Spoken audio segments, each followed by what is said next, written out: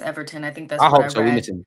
He comes straight back into the team if he's fit. I think Kiwior's shown that you can trust the squad and it won't all go to crap. I think that we have like this very narrow view of the team, mostly based on Arteta not trusting them. But when Arteta loosens the reins just a little bit, Kiwior got three games in a row. And besides maybe one bad moment against Fulham, I think he's done a good job. I He's really done don't okay, think man.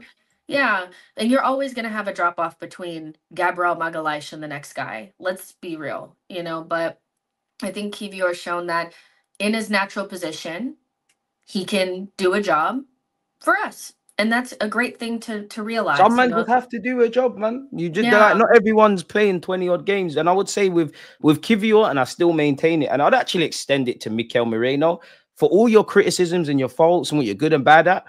I think if you two showed more personality, more so Kiwior, because I've seen a lot more, I think you'd be a lot better. I do think Kiwior plays within himself is probably a bit too humble. And I think with Mi- Mikel Merino, I think that's kind I think you're a bit safe on the pitch. But I mainly think that because I don't know if you listen to when he talks post game, but he always sounds a bit like "La- allow me, my English isn't the best. And I'm sitting, I'm like, your English is very good. Believe in yourself a bit more, but it's a timing thing. Do you think there's light at the end of the tunnel for Martinelli and Gabriel Jesus in what's left of the season? Yes, I have to. Um, I don't. I, I feel when? like so I think in the way that we're playing now, like or we played against Monaco, I do think naturally Martinelli and Jesus will be better. I think if we're not playing funeral football, those players will naturally score more goals. Will it ever change the fact that we need to upgrade in those positions? No. But we don't really need to worry about that right now because again, the window is not open. We all know as Arsenal fans, we must improve those two positions. So I think we can park that for a second and task Mikel Arteta a little bit more to get more Get a bit more, get a bit more blood from these stones, man. Squeeze a bit more juice out of them. Yeah, because even with Jesus, I think I'll never, I'll never think that he's gonna score a lot of goals. Like that's not him. But I think what's really disappointing is that we even lost the things that he's actually really good at, which is linking play and playing with his teammates and what he did against Monaco, that pass, you know, that quick movement to open up for that pass into Saka. And even that player is better than what we've been getting. And that player is useful to Arsenal in certain circumstances. Yeah, so like we don't have a clinical striker. So I don't think we need to be like, oh, yeah, but if Jesus plays, we won't get any goals. Those two chances that Jesus misses, I know Kai Havertz misses at least one of those. Trust, yeah, yeah. Saka's the only one you're betting your house is gonna bag in. Yeah. I would have said the Trossard of last season. Trossard, I can't because of what I've seen so far. I can't you just don't know with him either. Yeah, So yeah, it's I do think that. I think there's there's room for the two of them, even like Trossard and whoever is inconsistent right now, to play much better attacking football in the second half of the season as long as Arteta allows it.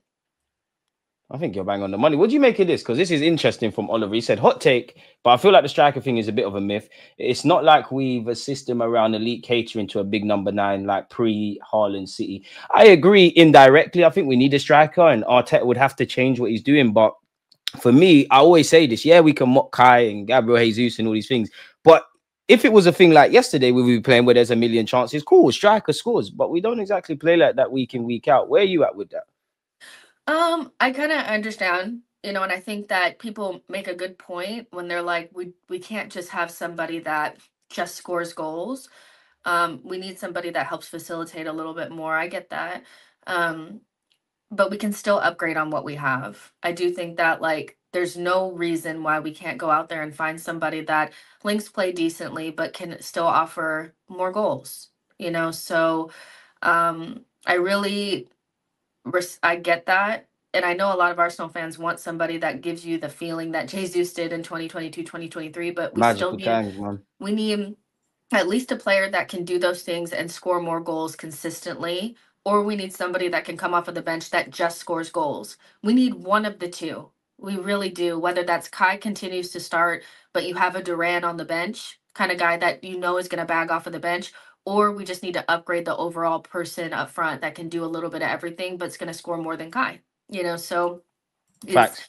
we still have to you know like we need that you know so arsenal need to figure out what they have available to them in the summer, I think we're more likely to get somebody that comes off of the bench and scores goals.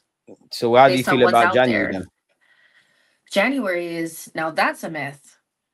Like Dan Potts said on my uh, on my channel, January for Arsenal fans is just January.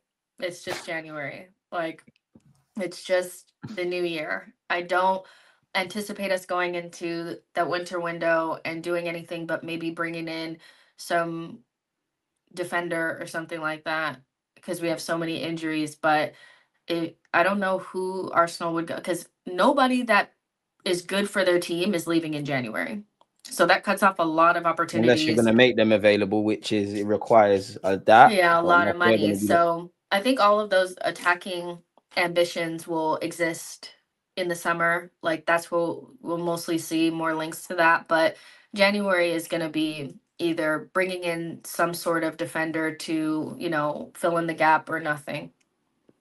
So you're not That's how I confident feel. about Ad- the Adam. We've been linked with Ademola Lookman, Nico Williams, Mohamed Kudus, No. yada yada yada. You don't think Let's- any of that can happen? No, because all of those players are important to the teams that they're in. They have ambitions as well, and why would they allow their best play? Like Kudus is a player that West Ham absolutely need this season. Release clause though, apparently Yeah, of 80 million. Um, Lookman is having a world class season, and Atalanta have ambitions of winning Serie A. Like they are much so in that in there. They're still in the Champions League, just They're like we top are. of Serie A. Yeah, they're They're they're yeah they're one of he's one of their best players. He's not leaving. So we had an opportunity, by the way. We could have brought in Lookman. He was dying to leave Atalanta in the summer. He want he was pushing for a move to PSG, and we could have tried to put our. We didn't do it. So we have to hold like we have to lay in the bed that we we made. That's the thing, and I'm with you with that.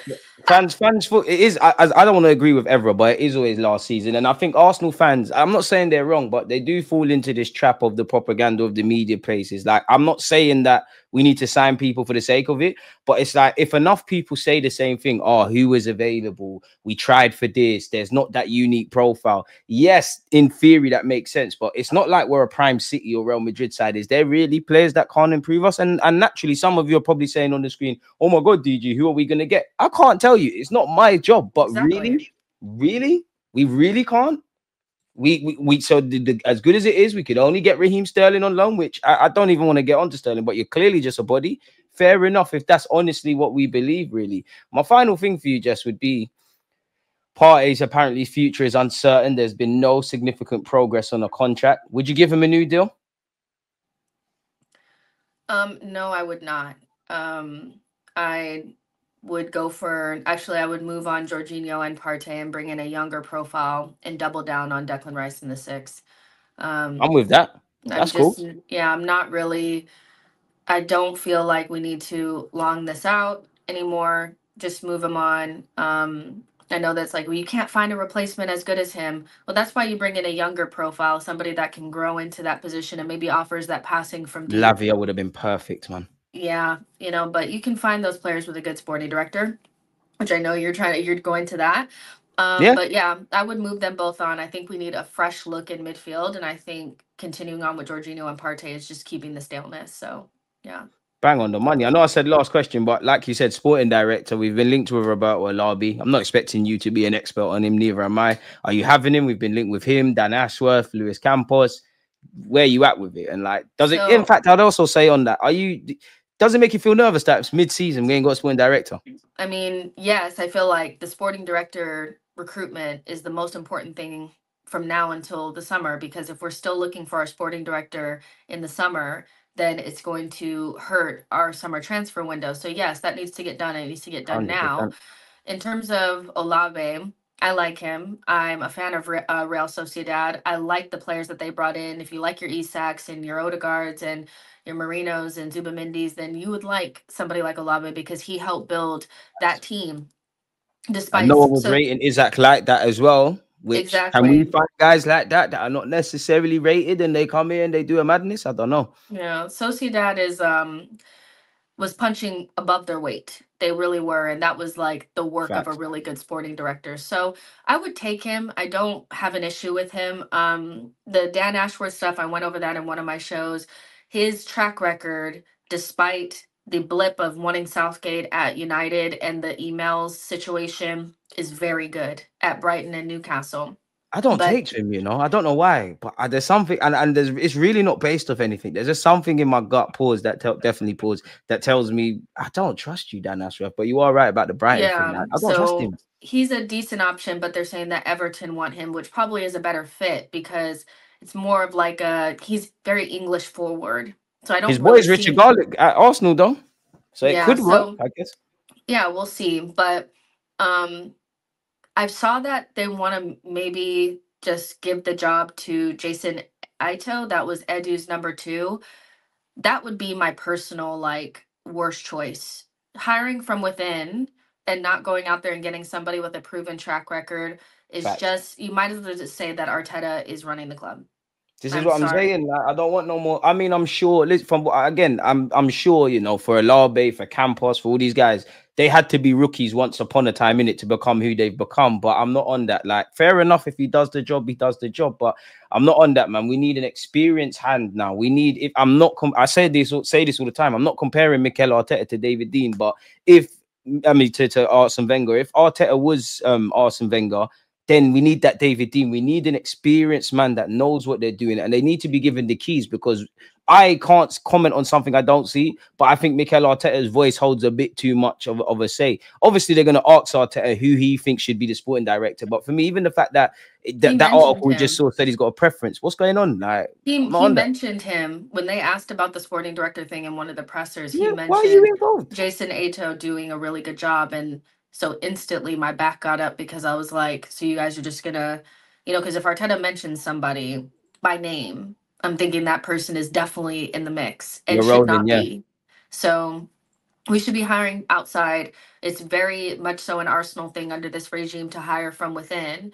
And we've seen like that we don't it it's not giving, you know, so whatever we'll see how it goes but they need to hire somebody now so that when the summer transfer window opens We're ready. we can just get things done but 'Cause yeah i'm there's a lot not to getting do. a good feeling hmm? Lis- Listen, there's a lot to do, and I this I, I mean it's Arsenal in it. We love these projects and things. On the face of it, there is stability, but if me and you went through the squad, there's a lot of question marks over several players, even the players that we rate when you look at contracts. That's before we talk about bringing people in. There's a lot to do in it. There's a there's a lot where our football club's concerned, but it makes for good content. Jess, before I let you get out of here, as usual, thank you for being here. It's been quite civil. Let people know where to find you and when you're next live, man.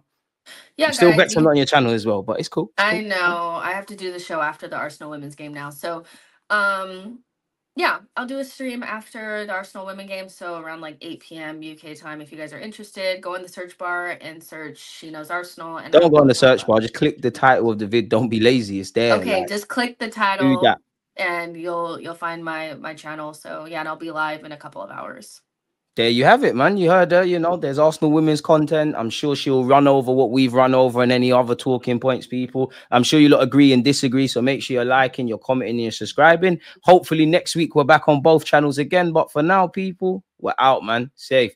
I mean, in in in tribute to Lewis Skelly, it's only right we show inverted fullbacks. Against this right back, Charlie, definitely. Give your have to, have to, have to. Oh!